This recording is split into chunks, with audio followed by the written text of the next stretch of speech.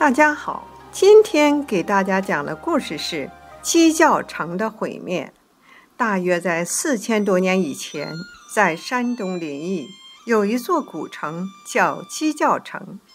鸡叫城在毁灭之前非常繁华，每天城里面经商的、卖艺的、赶集的、唱戏的，好不热闹。可是人心却慢慢的变坏了。一天，王母娘娘下凡，变成一位看上去八十多岁的要饭婆，拄着一根打狗棍，来到鸡叫城。她来到一户人家门前，这家女主人正在烙煎饼。她说：“大嫂，行行好，给我一口剩饭吃吧，我已经三天没吃饭了。”烙饼的女人抬头一看，见是一位白发苍苍的要饭婆。就横眉竖眼地骂道：“老不死的要饭婆，哪有饭给你吃？快走！”这时，烙饼女人的孩子刚拉完大便，喊道：“娘，给俺擦腚。”这女人一边骂骂咧咧，一边顺手拿起一张煎饼给孩子擦完屁股后，就丢进了垃圾桶里。王母娘娘一见这城里的人已经坏到这等地步，便离开鸡叫城。回到了天上，神决定向这个城降下灾难。太白金星不忍心叫这里的百姓都遭大难，就装扮成一个外乡的卖油老头，沿街大声叫卖：“卖油喽！一葫芦半斤，两葫芦四两，快来买油喽！”古代人卖油都是用葫芦装的，人们一见这卖油老头，傻里傻气的。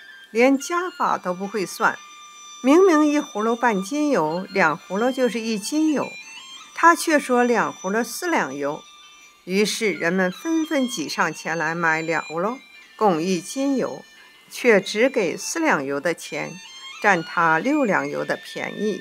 谁也不告诉卖油老汉，他在干亏本的买卖。这鸡叫城里住着一家姓陆的，只有三口人。一个妇道人家带着一儿一女过日子，他为人忠厚，待人诚恳，不忍心让外乡人吃亏，就只买了一葫芦油，并说道：“老人家，您算错账了，两葫芦不是四两，而是一斤油啊！你这样卖下去会赔掉本钱的。”太白金星见走遍全城，也只有这位妇人诚实善良。便叹了口气，顺手从衣袋里摸出个小纸船，送给他说：“我是太白金星，这个纸船你要随身放好，危难之时可取出保平安。”接着又告诉他：“扁担开了花儿，狮子红了眼，没了鸡叫城。”说完，转眼不见了。陆大嫂知道这是仙人的点化，连忙跪下磕头。他实在不忍心让全城人遭难，就把这事告诉了人们。可谁也不相信，有的人还笑话他大白天在说梦话。这年九月九日，人们赶庙会，鸡叫城热闹极了。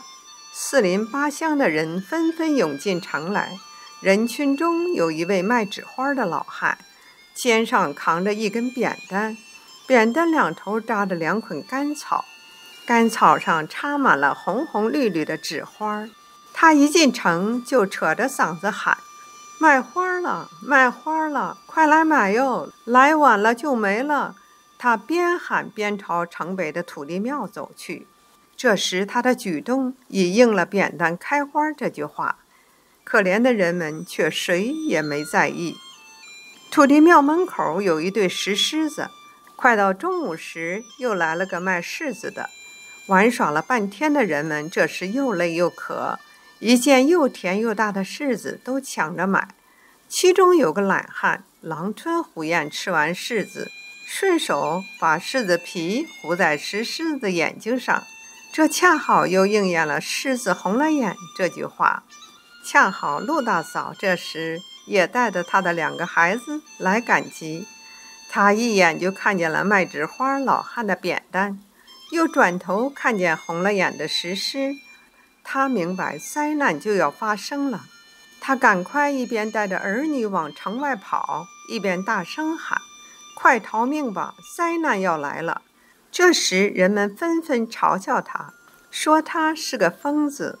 就在陆大嫂带着儿女逃出集市后，狂风大作，乌云遮天，瞬间鸡叫城黑得伸手不见五指。接着，炸雷撕裂着天空，暴雨像天河决口似的倾泻下来。陆大嫂和她的孩子跑着跑着，就见后面涨起了大水，波涛汹涌。这时，他想起了神仙送的小纸船，他一直带在身上，便把纸船拿了出来。纸船一瞬间就变成了真船，陆大嫂就领着孩子上了船。船随着大水飘啊飘啊。直到暴雨过后，云开雾散，才靠了岸。陆大嫂带着孩子上岸后，回头望去，七教城已经沉入了水中，身后只是一片水汪汪的洼地，全城只有他们活了下来。后来，七教城就改名叫七教洼了。这个故事再一次告诉我们：当世人背离神给人规定的做人的理时，神就会归正，留下好人，淘汰坏人。这是神的慈悲，让好人能在一个良好的环境下生活。